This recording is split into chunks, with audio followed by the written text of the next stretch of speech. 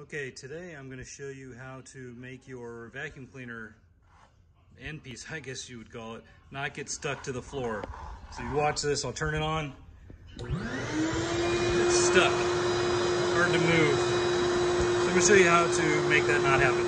I've got the piece off, and so what I'm going to do is use my Dremel, and I'm just going to cut a relief into the side here. Should be as simple as that. So let's get started. You can see right here, I just cut a relief to let air go through, and that should be good enough to make it so it doesn't get stuck. Hope this helped Let's out. test it out and see how it works now. There you go. Oh yeah, nice and easy. Slides right across the floor. Hope this helps. It's definitely going to help me. Talk to you later.